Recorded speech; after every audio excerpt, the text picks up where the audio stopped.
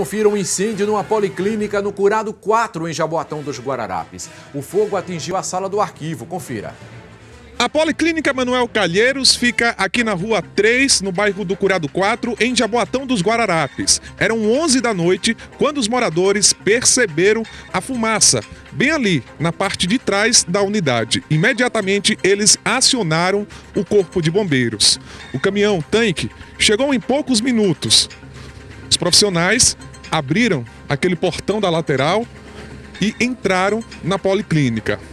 Eles constataram que o incêndio estava acontecendo na sala de arquivo, bem aqui atrás. A gente não pode ter acesso porque o local já está isolado, mas chega aqui, Ronaldo. É por aquele portão que os profissionais conseguiram entrar, colocaram a mangueira estão trabalhando nesse momento para conter as chamas. Por sorte, a policlínica estava fechada, não tinha nenhum paciente, nenhum funcionário no momento em que o incêndio começou. Eu conversei com um sargento do Corpo de Bombeiros que não está autorizado a gravar entrevista e ele me disse que ainda não é possível dizer o que provocou o incêndio, mas acredita inicialmente na possibilidade de um curto elétrico ter sido a razão para esse incêndio.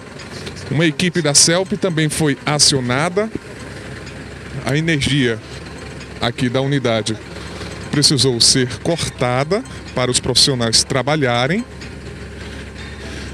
Nesse momento, os bombeiros controlaram o fogo estão fazendo aquele trabalho de resfriamento. Estão lá dentro agora, a mangueira a gente pode observar.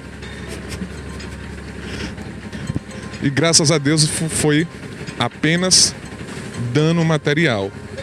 A sala de arquivo, todos os documentos, segundo o sargento, ficou completamente destruída. Rafael Cabral para o Ronda Geral.